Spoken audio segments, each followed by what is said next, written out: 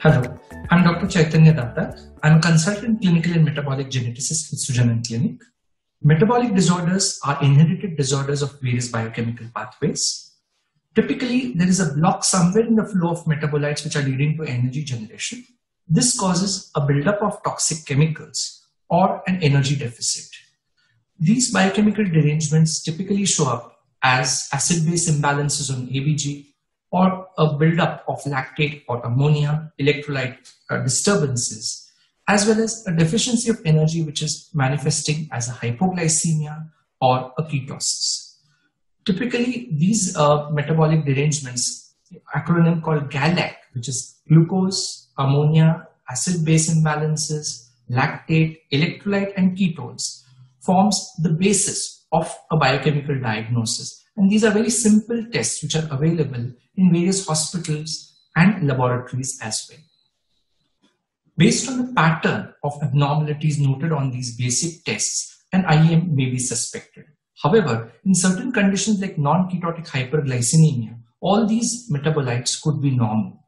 So a high index of suspicion is what is definitely required and further advanced tests are necessary to confirm the IEM that we are dealing with.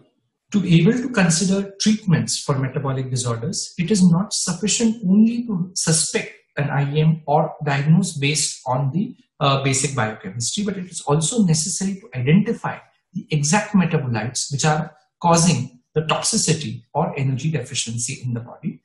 Therefore, most of the tests are carried out in samples such as blood, urine, or CSF. In these samples, the spillover of metabolites, that is excess of metabolites may be diagnosed. Like for example, citrulline could be high in citrullinemia or uh, there could be some deficiencies. Like for example, uh, the GALT enzyme could be deficient in a case of galactosemia. So diagnosing these disorders is very, very crucial. It is necessary that the samples for the above tests are collected in an acute or a decompensated state before any kind of fluid, acid base, or other corrections are done in the child. Because once these corrections are done, it distorts the biochemical profile and then reaching a definitive diagnosis becomes difficult. So sometimes this can lead to an incorrect or no diagnosis in cases of errors of metabolism. So it's always a good idea to collect about 2 to 3 ml blood in a heparin tube and about 10 ml urine sample and keep it aside before initiating any acute management. These critical samples are really going to help us in uh, diagnosing the specific type of IEM. Therefore, a metabolic diagnosis is typically achieved when we have the clinical presentation, the results of the basic biochemistry, as well as the uh, outcomes of the advanced tests. So completing the metabolic profile is a crucial aspect in a uh, biochemical diagnosis.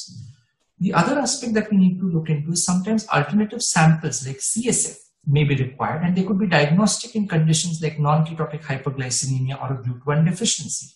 Similarly, enzymes could be studied for their deficiency and these are also diagnostic tests like biotinidase deficiency, you will get a biotinidase enzyme which is deficient. In certain conditions such as glycogen storage disorders, the clinical presentation and a liver biopsy is sometimes diagnostic. However, it is necessary to confirm the condition based on molecular genetic testing.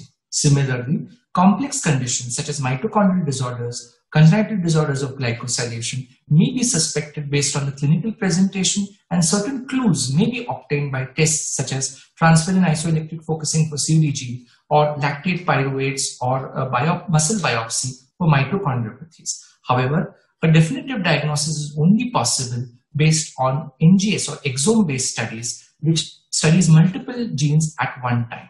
And that molecular diagnosis is definite.